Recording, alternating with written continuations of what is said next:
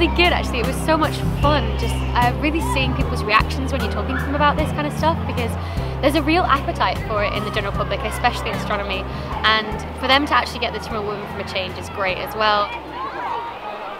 I really think soapbox science helps to address the gender imbalance, especially in astronomy, uh, in my subject. But it is getting better, and it's through programs like this that you know you engage with the public, not just the parents, but the kids themselves who see a female scientist, see that they actually exist, that they're normal people, uh, and that they live normal lives, but yet they know these amazing things.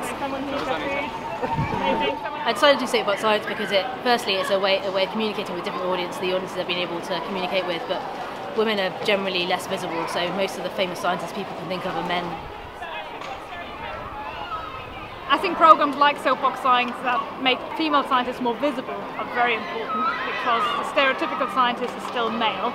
And I think it's really important to have more female role models to stop that kind of assumption, which then hopefully makes it easier for the next generation of scientists next generation of schoolgirls and so on to actually that they can picture themselves being a scientist. I think programs like this, like Soapbox Science, can really help. Um, a lot of people have a knee-jerk reaction when they think of scientists. They think of a, you know, man in a lab coat. They've got a kind of a visual image of some Einstein sort of figure with grey frizzy hair, and it's it's not someone like them basically.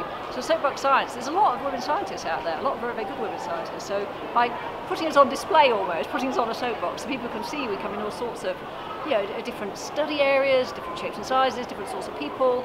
Um, I think it's a really good idea. You know, to give an hour of my time on a Sunday afternoon, I'm, I'm quite happy to do that. I think it's really good when, for people to see that women are scientists too, because so often the idea of a scientist is a, a, man in a white coat. So to see some women in a white coat, I think it's really great and really inspiring for people who come to see Soapbox Science Games.